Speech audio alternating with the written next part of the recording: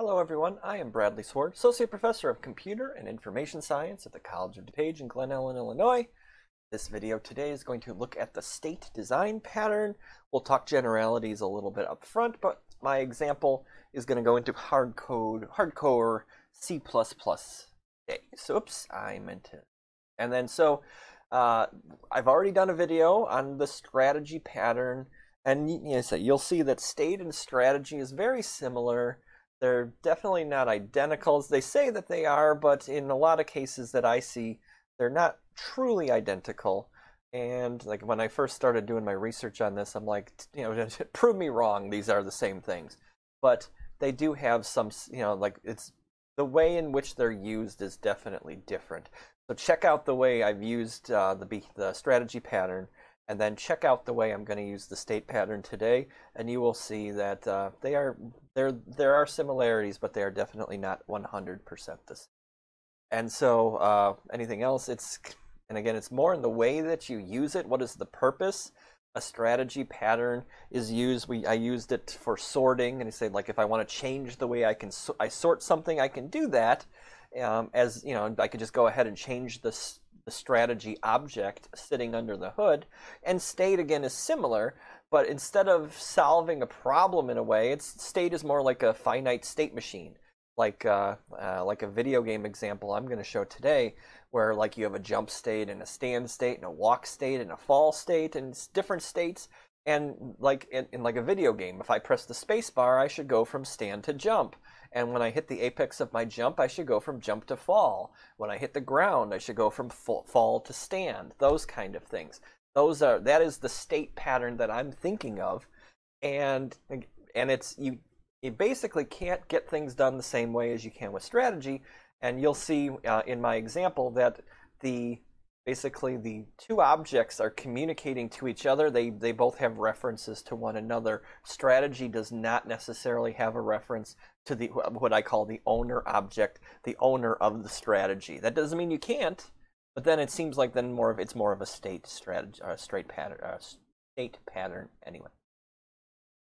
Okay, so again, it's a behavioral pattern that allows an object to alter its behavior when the internal state changes and it's close to the, this concept of a finite state machine. Another good example is always a vending machine. You know, you can't, you generally can't just walk right up to a vending machine, hit the buttons, and and and sodas just come flying out. And it actually did happen one time back in the old days, back when people could actually meet up and be around each other. Um, students were taking a test, and out of nowhere, just just a bunch of F word. Like, what the? Kid, the, the kid hit the lottery. He just, the machine was broken or whatnot, and every time he pushed the button, he was getting a soda. He got 10, 12 sodas. I was nice. He, I, he gave me one, but I gave him a couple bucks for it just because. What the heck? That was amazing. But any other times, you are not going to hit the. You're not going to hit the. You're not going to hit the jackpot. The button registers, but it doesn't do anything. But why not? Because you didn't insert any money. Well, how does it know? And that's where the idea of the state machine comes from. And so you could, a lot of students start out, and not me the same way, where you're like, well, I'll just put everything in one object and I'll just have a ton of if statements. And I go, you can do that, but oh my goodness, try doing that for anything of substance and you will see that you'll, you're going to have a bad time quickly. So, uh, so this can be a cleaner way for your object to change its behavior at runtime, and that's what I'm saying here, without resorting to conditional statements and main, it improves maintainability, but you're writing a lot, you're writing many smaller objects that all kind of communicate together, and you definitely have to have uh, documentation somewhere in some form to understand how these things all tie together. So the state pattern is used when you want to change behavior, like an internal state, like I've mentioned a few times over now, and everything should be defined independently. And by that, it means that when I add a new state, it doesn't necessarily affect the behavior of the existing states. You probably will have to go back and change things up a little bit because that's the whole point of a finite state machine is like, how do I get into and how do I get out of this new state that I'm trying to add in? But it's not necessarily uh, forced on you. And you don't have to recompile any of the rest of the pro the rest of the classes to get this new state to work if you don't necessarily want to. Okay, so one more, you know, a little bit more here. So, like you say, state-specific behavior within a class is inflexible. You know, when you start to do this, because it commits your class to particular behavior. And if I wanted to add more code, I have to recompile the entire the, the entire class. And we're trying to keep things as simple as possible on compile time, on link time, on runtime, on you know efficiency everywhere, and that just kind of goes against that. So the state pattern that we're going to use today, we're going to define a separate object that, you know, like there's a pure virtual function that's going to be in the base class. That seems to be a common theme in a lot of uh, design patterns. And um, and in the in the derived classes, they're gonna we're gonna override that function to do what I want to do. If I'm in, you know, you're gonna see I'm gonna be in a jump pat, jump state, and I'm gonna have a countdown timer. Be like, well, when am I out of the jump state? Countdown, countdown. When I hit zero, I'll change back. So let's see, the class delegates state-specific behavior to the current state object instead of the state-specific behavior directly. So it calls the object instead of going through a whole bunch of if statements trying to find out what's going on. So this makes the classes independent of the behaviors. Every behavior is independent of every other behavior. They're all, they're all tied together. New states can be added by just defining new derived classes that go off of that base class. And at runtime, you just change the current state object and everybody's happy. And so here is, oops, here is the class and sequence diagram. If you look at this, you compare this to strategy, they just changed the wording around a little bit, but it's pretty much exactly the same thing. And again, my, the de my demonstration today is going to be slightly different because the state, the, the state and the context, meaning the object and the state pad, the state machine itself, are going to be are going to know of each other. We're going to pass references. The the, the player is going to know about the state, and the state is going to know about the player. And I'll show that here in a. Okay, so here is my really cool example for my state pattern here. I have my main function. Let's just say I, I know, uh, where am I going to start with this whole thing? There's nine files here. So my main look at this, right? All I'm doing is running 50 steps of a of a you know theoretical game or something like that. So I have a player pointer, new player, and then I go 50 steps, and notice I just got player step, player step, player step, player step, and then when it all comes through, I delete off the player, which is fine, so I don't have any memory leaks, and I return zero. And even in the player.cpp, player arrow step, all it's doing is calling current state.step. So it's, it's indirectly calling all these different things. So the player object, it looks complicated. There's a lot of code here, but it's really not so bad. The player object has a state. And it's it, and it's maintained as not as an ISA. This is not inheritance. This is a composition. The player has a state. So this state is sitting under the hood as current state, and in the constructor it sets it up as stand state. You have to start somewhere. I'd probably start it out as maybe a init. I guess it doesn't need a init. It's not like a it's not like GameMaker or Unity or anything like that where we don't have access to the pure constructor most times. But anyway, coming back here, I have the constructor. I have my state that is maintained. I have a step event that is basically, you know, basically if you want to think of one game frame or just one tick of the clock, what would happen to my player, what it, what would happen in the next game frame. And then I have a templated function, that's why I have to put it in here, that says what do I do if I change the current state. And we have to watch out since we're dealing with pointers and we're dealing with newed up memory and all sorts of stuff that you notice like I call this and I say, okay, I'm printing out, well, that was weird. And then I delete the current state and I fill it up with a new, with whatever, new t this. Isn't that fun? And what that means is, I'm, when we show this somewhere else, that I can basically supply the new type as a parameter, as a template parameter, and then that way I don't have to new up anything anywhere else but inside of this one function because newing could be a, you could have problems in, with newing things up depending on a lot of different things. So I delete off the current state and I replace it with a new one so I don't have any memory leaks and I replace the old state with the new state.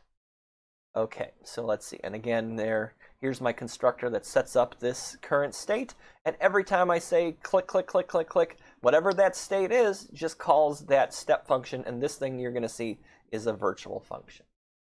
Okay, so pretty much the rest of the dis- uh, the discussion here is about the state, the state pattern, or the like the state base class, and all of the derived classes that come from it.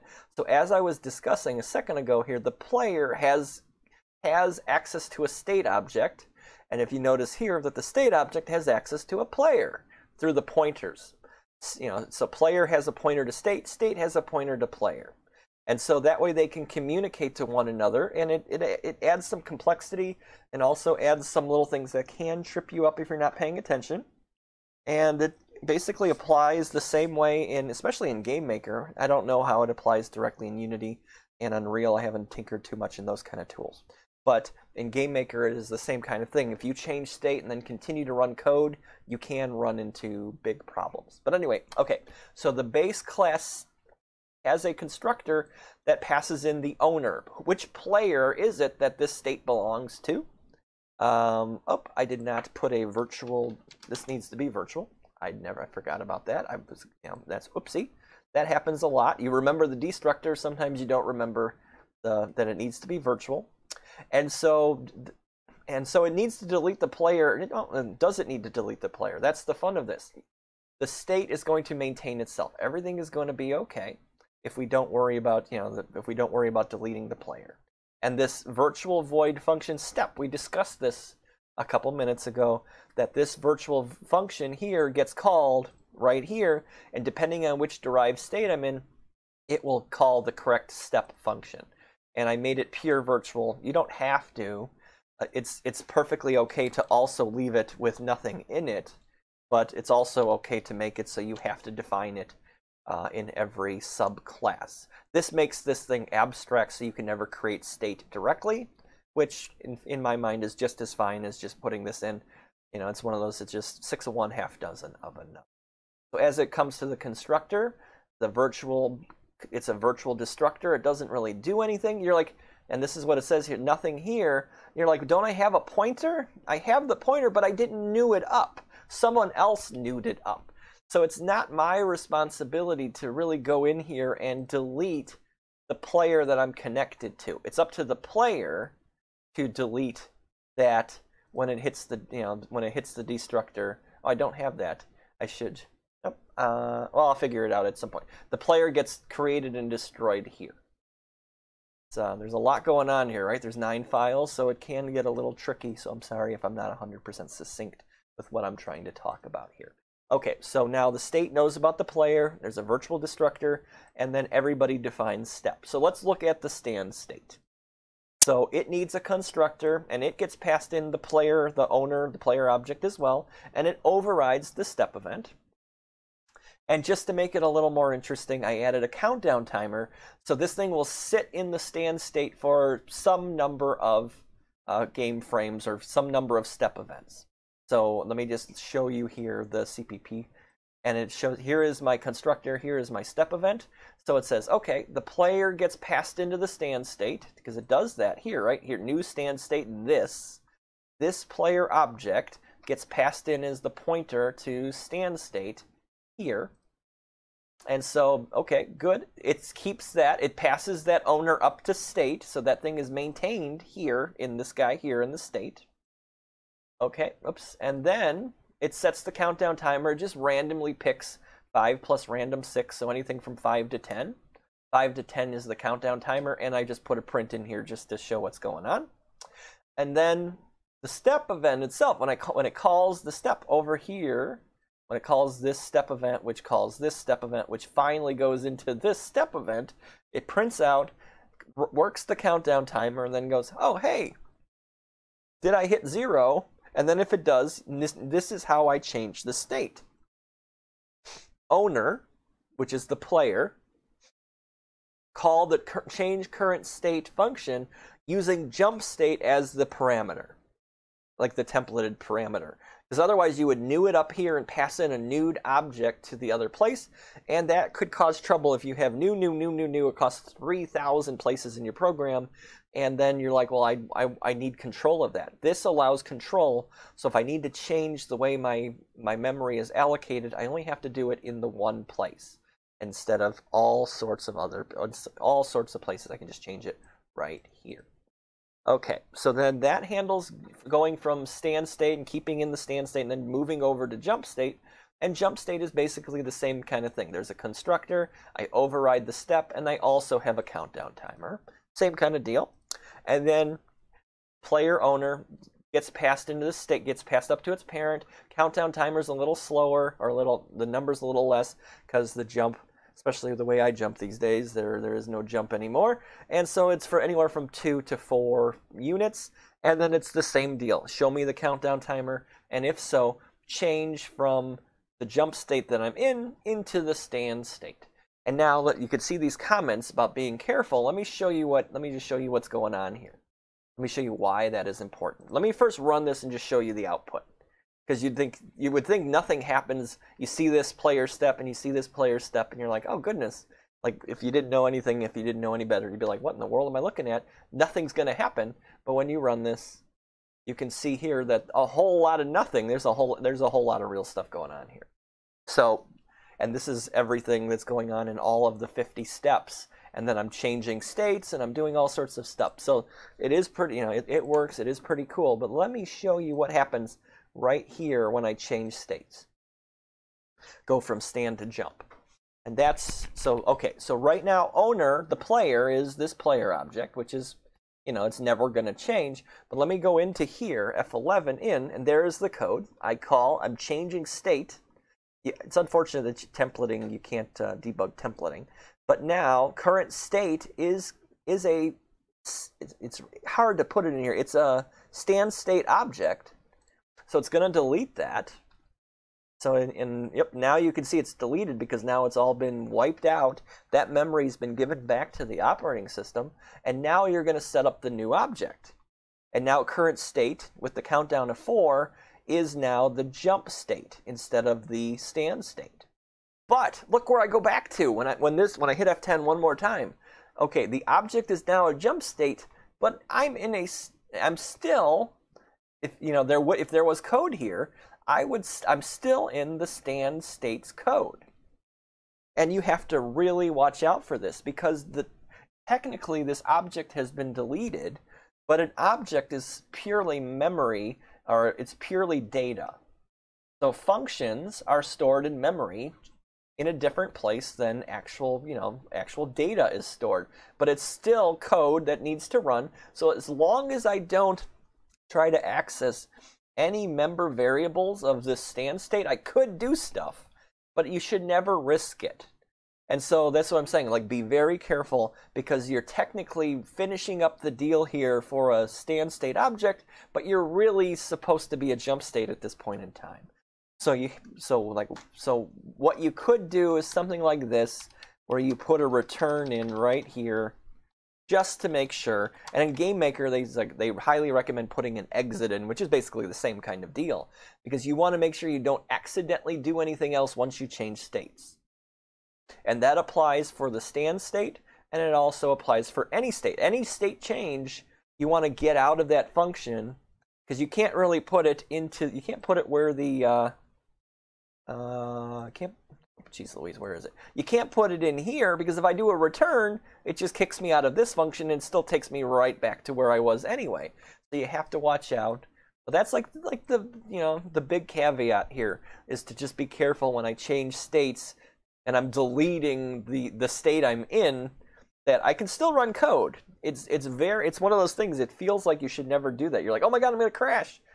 Well, technically, you, you don't crash until you try to access the data under the hood because then you're trying to access instead of accessing code which is perfectly legitimate you're trying to act you're trying to act on data that's been deleted and the operating system now says no you cannot touch this and it crashes on you so watch out there okay so out of this coming back again those are the nine different files so again here is my parent class it maintains the owner for everybody.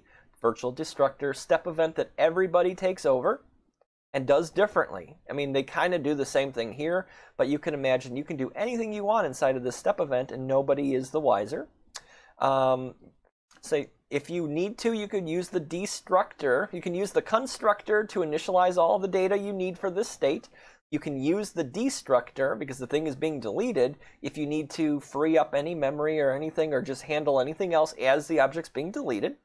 So, so you get create, you get step, you get destroy, and anything else, you know, architecturally you would have to put into the system yourself. If I'm dealing with video games, you could have begin, begin step, step, end step, and all sorts of other different functions. Uh, if you've ever worked with GameMaker, you know that it's the, the engine is a whole a whole working machine with lots of different pieces and parts. So each state implements all that it has to of the state pattern and adds whatever it needs to. And then the player just goes ahead and just takes everything and just slaps it in and just very nicely uses that. So it just uses it as a has a instead of an is a, and everybody's happy. And then just coming back here, just saying, I can call this function over and over and over again, and it will destroy, and it will create a new new step, a new object in its place, which is really cool. And that's why this comes out so simple. Everything else is really complicated, but everything else, once you get there, your main code and even your player code just is just so simple at the end of the day. And that's the whole joy of making an engine and trying to come up with a way to to make it very easily usable for other people. Because you know, you put the cool hard stuff, you write it once, and then you don't have to worry about it ever again, and everybody else can just slam it in and make it work. Uh, there was one little last thing I wanted to discuss, but I forgot about it while I was talking. Um, but if it comes up, I'll think about it. I'll remember. I'm not 100% sure here. Oh yeah, adding new states, as we were discussing. It is, as in this case, it's just a matter of adding a class that derives from state basically doing the same thing where I, I have to have a constructor because I have to pass the owner along. Uh, I have to have I have to override the step event, and I have to have something. It doesn't have to be a countdown, but it could be other things. You know, it could there could be many different things that's going on, especially when it comes to like physics engines and things like that. But again, the tricky part is you don't have to tie in the other states. But from a video game standpoint, like in this case, if I'm standing maybe I want to, maybe there's input, maybe the user input. Like if I press a certain button, I, I, I, I'm now walking instead of jumping. Or if I press a different button, I'm now jumping instead of standing, and so forth and so on. And so it, you, it says you don't have to change the code for other objects, but the reality is, as a finite state machine, you generally do go in and change the code because everything kind of has to work together. And that's kind of where the one of the where the similarity ends between state and strategy pattern because the state patterns everything kind of works together but the strategy pattern is a you know every every definition of a strategy like a concrete strategy is is a very concrete way to solve the problem and they really don't interact too much but the state pattern does um, so I think that pretty much well covers what I'm trying to get across here. So thanks for sticking it out with me. If you have any questions, uh, swardb at cod.edu or comment below, and I'll get back to you as soon as I can. If you have a better way to do this, I'd love to hear this because this is just my uh, couple days worth of research on the topic here. But, uh, well, over, uh, just to try to make sure that I know precisely what I'm trying to tell you guys and trying to do things the right way. So again, thanks for sticking it out with me. Have a great day. I'll see you next time.